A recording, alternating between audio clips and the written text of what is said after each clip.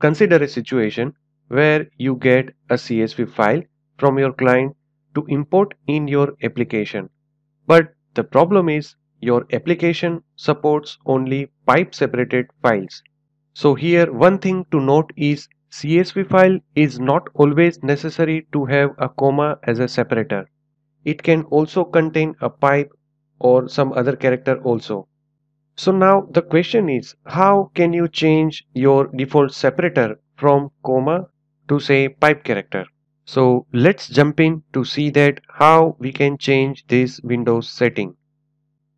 Alright, so now I am in the control panel of my system.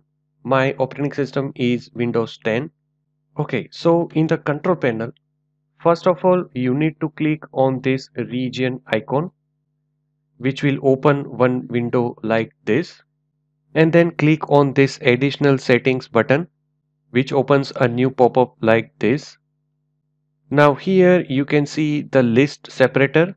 So over here, what you need to do is instead of comma I am changing it to a pipe character and then click on apply and ok button once again click on apply and ok button okay now let me show you the CSV file in the text editor which we were received from the client to import in the application alright so here you can see that this file is delimited by comma each column and their respective fields are delimited by comma.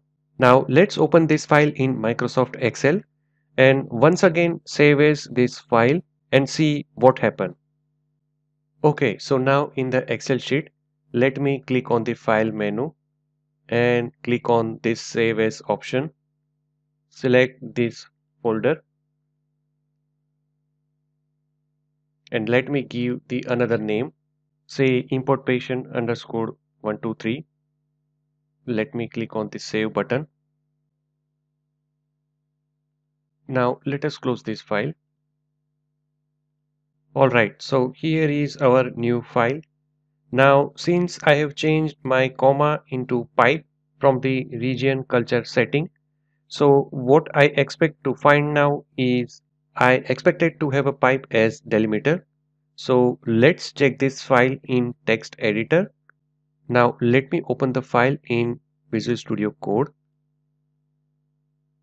And yes, sure enough, instead of comma, now we have a pipe as a separator in this CSV file.